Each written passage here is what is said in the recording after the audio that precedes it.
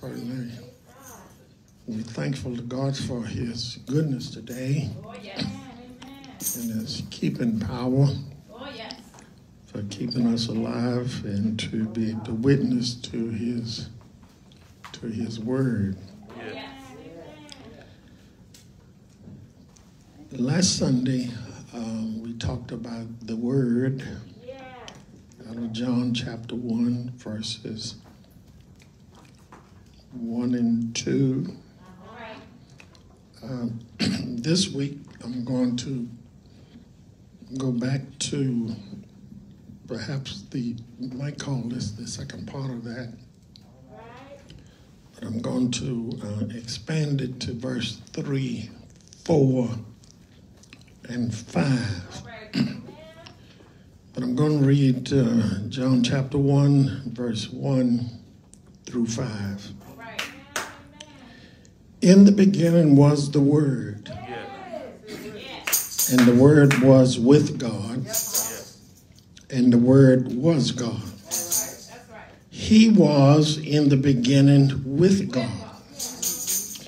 All things, verse 3, all things were made through him. Without him, nothing was made that was made. I, I read that verse last week, but I'm adding these this week. In him was life, and the life was the light of men. Verse 5 And the light shines in the darkness, and the darkness did not comprehend it, or did not understand it, or did not overcome it. And the light shines in the darkness, and the darkness did not comprehend it, the, the eternal word or the word. The opening words of this gospel bear a striking parallel with the opening words of Genesis, the book of Genesis, the first book of the Bible. John's own particular contribution is to show that the Word existed before creation. That's what I want to, to amplify today. Amen. Existed before creation. This is uh, uh, important. It's uh, implicit in the opening words. In the beginning was the Word. And although the verb is used in the past tense, the idea is continuity. All right. The word that now is was in existence before the world began. That at once introduced a profound theme, made more profound by the subsequent two statements. Amen. The Greek proposition, preposition rather, translated with suggests the idea of communion. The thought is literally towards God, which requires some distinctiveness between God and the Word. But the next phrase adds a further aspect. Amen. Since it affirms that the Word was God, amen. Uh, since God is a noun, John must be affirming the Godhead of the Word. And it involves not only divinity, but deity. Divinity and deity. John, in his gospel, proves that Christ is God. He assessed his, uh, his, his existence in the beginning, his coexistence with the Father, the Word of God. Now, listen what he says in verse 3 all things were made by him, and not as an instrument, but without him was not anything made that was made. From the highest angel down to the lowest creature to the lowest worm. This shows how well qualified he was for the work of redemption and salvation. This eternal word, this true light shines, but the darkness, amen, comprehends it not. The close connection between life and light, life and light is not unexpected. For in the physical world, life is dependent on light. If there's no light, there is no life. And this idea is here also transferred to the spiritual world. Help me, somebody. Three things, three short things, and I'm finished today. Amen. I'll be out of your way.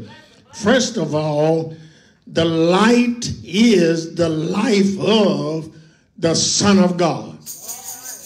The light is the life of the Son of God. It's right here. Verse 4 In him was life. Him. In him was life. And the life was the light of men. Are y'all going to pray here? Now, now this simply means that the light that shines in the darkness is the light of life. We see that in John chapter 8, verse 12. Are y'all to pray?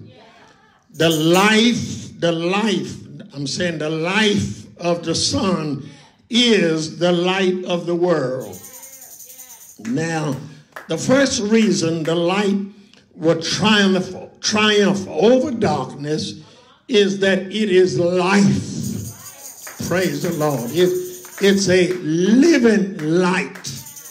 Amen. It's a living light. And there are at least four things about this light that's revealed in verse 4. Amen. Number one, the light of life has energy and power. Say energy and power. Because the life of the Son, S O N, the Son of God, has energy and power. Come on, help me here. Catch that. The second thing is the light of life, I'm saying life, has purpose and motion. Remember what you're teaching this morning. Amen. It has purpose and motion. It's not static. It plans. It moves. It shines. It's alive with the life of the sun. Third thing is the light of life grows and expands. His life is a fountain of life. The fourth thing is the light of life beget offsprings. Help me, somebody. I put it another way so you understand it. Amen. You may not understand offspring, but in other words, amen. If you have the light of life, you have children. Amen. Verse John 12, 36. Believe in the light that you may become sons of the light. Help me, somebody. So if you have light of life, you have energy and power. You're not weak. You have energy and power. Say amen. You have purpose and motion. Praise the Lord. You're not, you're not sitting still. You're not, you're not useless. You have, you, you, you have plans and you're moving. Amen. You have motion. You're, you're shining bright. You're alive and, you're growing. and you're expanding. Say amen. And you're having offspring. You're, you're giving life to more children like you. Somebody say amen. And if none of that is happening, guess what? You do not have the light of life. Praise the Lord. So, so the first reason the light shines in the darkness, and the darkness does not overcome it, is that this light is living and it has energy and purposefulness and growth and reproduction. Say amen. Amen. Catch that. It has energy, it's purposefulness, growth, and reproduction. And every child of God should have purposefulness, amen, growth, reproduction, and energy. Praise the Lord. It's not a static thing like a, a stoplight. Praise the Lord. That might be ignored. You can't ignore somebody that got the light of life. The light that shines in the world today is the very life of the Son of God.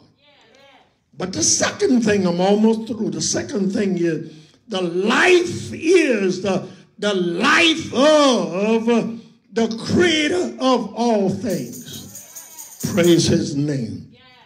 I said again, second thing I notice is the life is the life. I didn't say life that time. It's the life of the creator of all things. It's right here in the text, verse 3. All things were made through him, and without him, nothing was made that was made.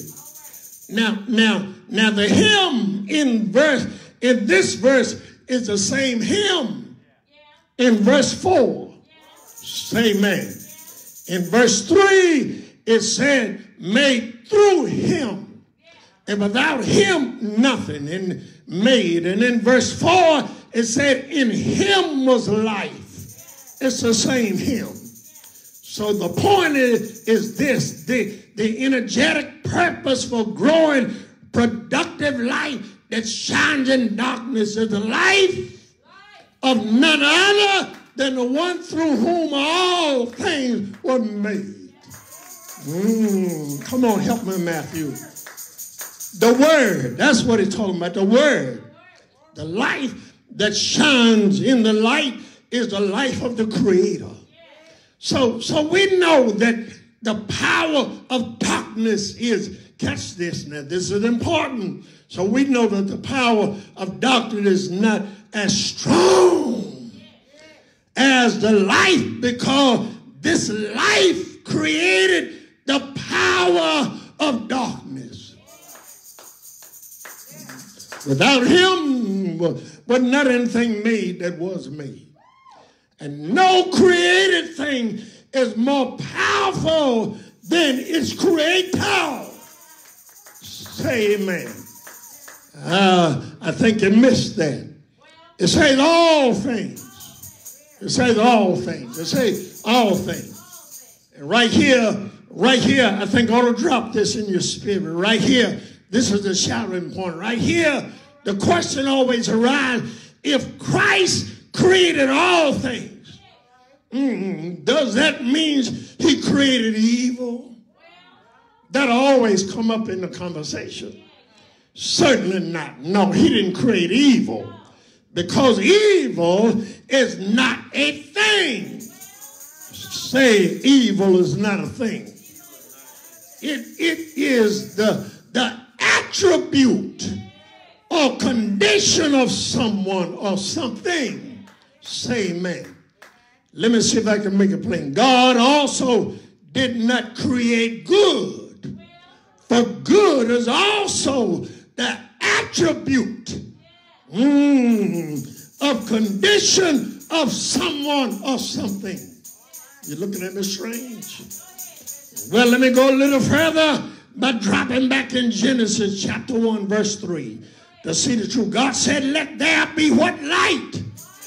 And there was light. And God saw the light was good. Say amen. Did you catch that? I didn't think I didn't I didn't I don't think y'all with me. You, you're kind of slow today. He said, he said, he said, let there be light. And surely he said, and, and there was light.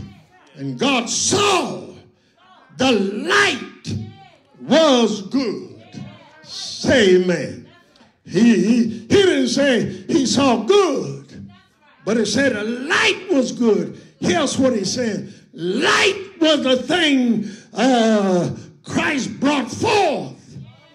Uh, and good was the attribute of the light. Y'all ought to shout right there. And since good is an attribute of God, all things that God created are good and remain good until they what? Remove themselves. Amen, somebody.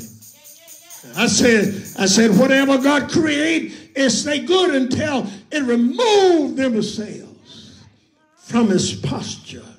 Say amen. You you born with purpose. You were born for God. But you can remove yourself from your purpose and your assignment by free will. Come on now. Yeah, yeah, all things. Can I get a witness here? Even Satan and his angels were created for good. They were they were heavenly angels. Say amen.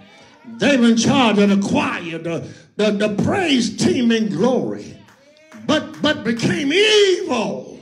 Say amen. Only when they rejected the good purpose for which they were created. A Whole lot of folk rejects the purpose for which God created them for.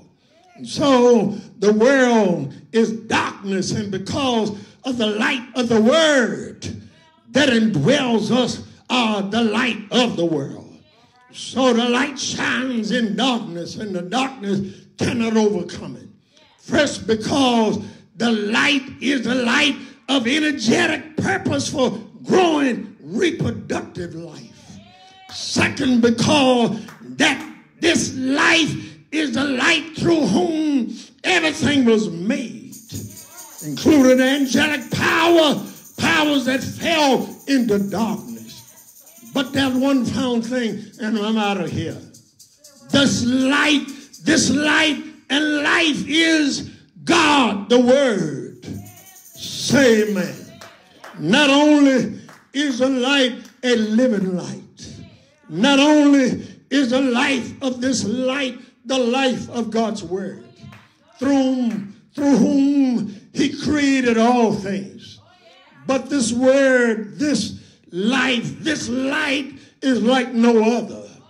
It, it is not a flicker that you turn on and turn off.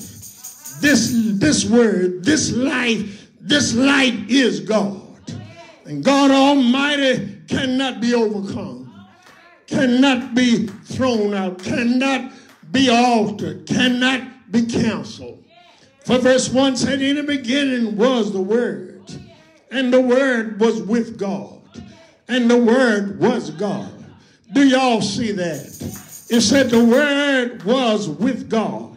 And then verse 5 said, The light shines in darkness, and the darkness did not overcome it, did not understand it.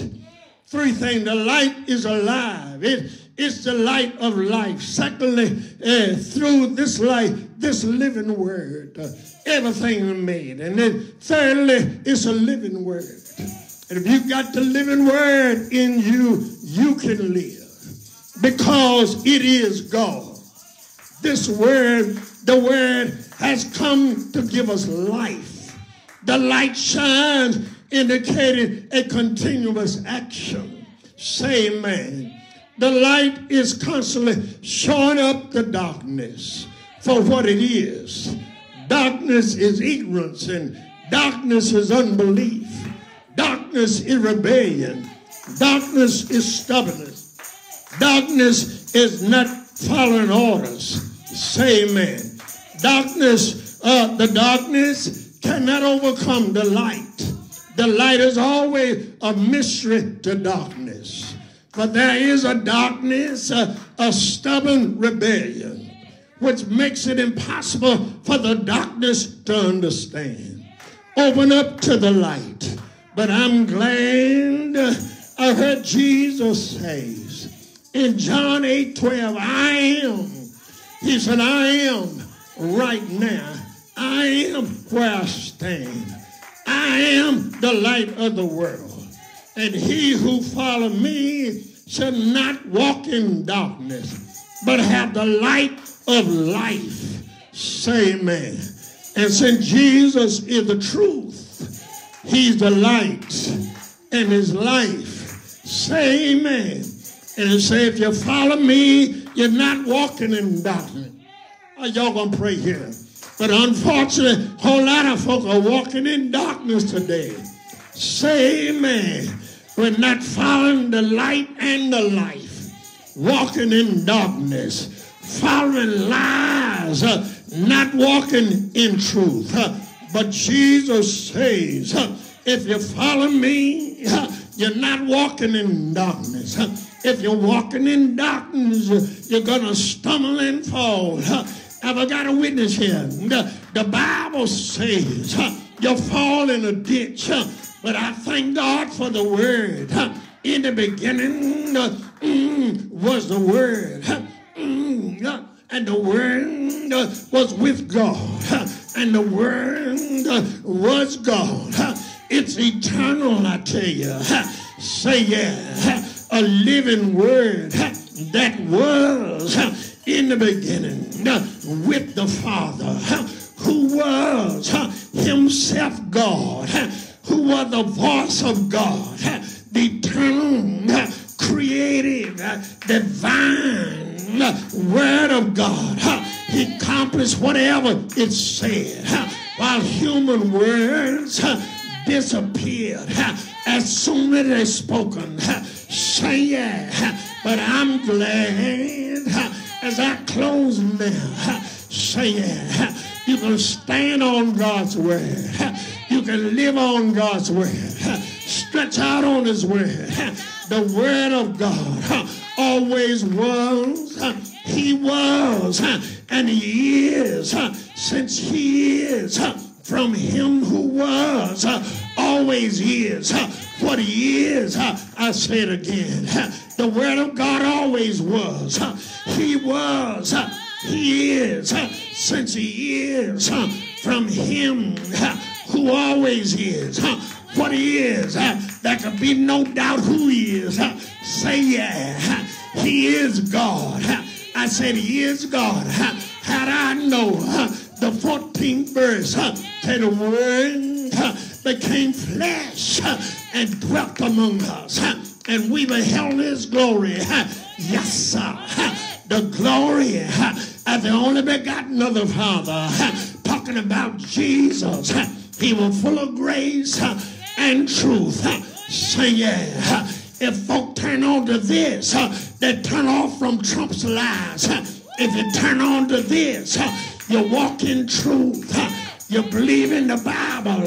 Say yeah. If you turn on to this, say yeah. He said, full of grace and truth. Say yeah. Y'all need him up in here. Say yeah. The Bible said in the 59th chapter of Isaiah, truth has fallen in the streets. Say yeah. But Jesus said, I am the truth. I'm full of grace and truth. Say yeah. Trump ain't the truth, but Jesus is the truth. Say yeah. That truth was nailed to Calvary's cross. Say yeah. And they tried to keep him there. Say yeah. They burned him in a grave. But truth got up and said, I got all power in my hand. Trump don't have it. A political party don't have it. Say yeah. Jesus got power. Power to raise you when you're down. Power to lift you power. Y'all don't want to help me up in here. I said power. Say yeah. To set a soul on fire. Power to bring in when you're out. Power to fight your battles.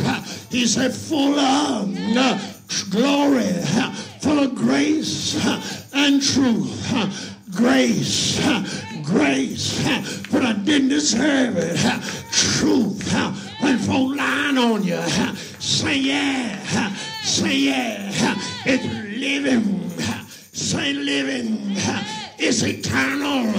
Thank God for the word. Come on, praise God for the word. It's a living word. It's a living word. Glory, glory, yeah, yeah.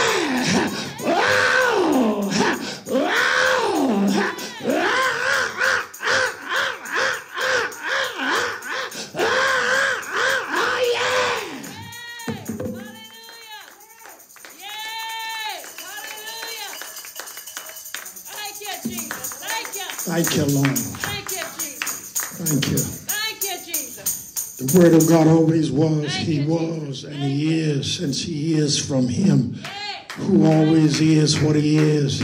There can be no doubt to who God is. Lord, we thank you. Thank you, Jesus. Let this word marinate in somebody's heart today. That they seek the truth of your eternal word. We love you. We surrender to you. Put ourselves totally in your hands. Father, you know I have to travel today. Give this your servant traveling grace. Protect me from foolish people. Put a shield around me from all the COVID foolishness. Protect me, Lord. Because there's assignment over my head. I have purpose and I have assignment. I believe you. You, you're God of growth, motion, and movement and action. And I thank you for your word. Touch somebody who lost, who's sick in you right now. Speak life to us. Let us go deeper in your word. But we're going to get through this dark season. We need you and your word.